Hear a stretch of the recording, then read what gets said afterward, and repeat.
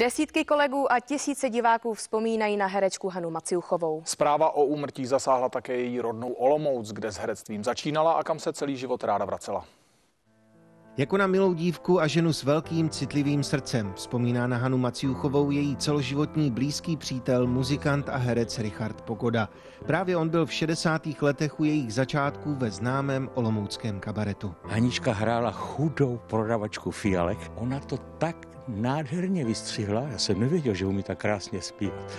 A v té době, myslím o rok později, založili při divadle Lucicha Stibora amatérské studio.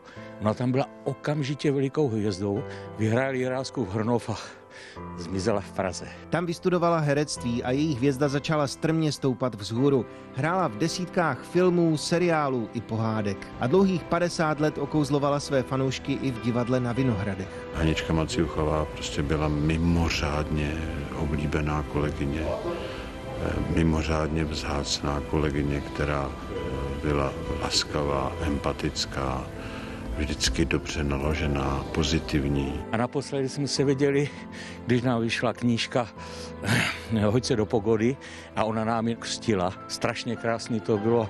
Netusil jsem, že tak brzo odejde. Bylo to sluníčko. Hanna Maciuchová se narodila půl roku po válce ve Šternberku, ale rodina se záhy přestěhovala do Olomouce.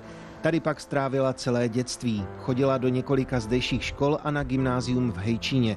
V posledních letech si jako patronka vzala pod svá křídla základní školu Svatoplukova. Tak jak eh, jsme paní Maciuchovou znali, jako eh, silnou osobnost, přitom laskavou, srdečnou, empatickou, tak a taková byla i v kontaktu s kolegy a s dětmi. Olomoučané jsou na svoji slavnou rodačku právem pišní. O to víc je smutná zpráva zasáhla. Mě to hodně líto.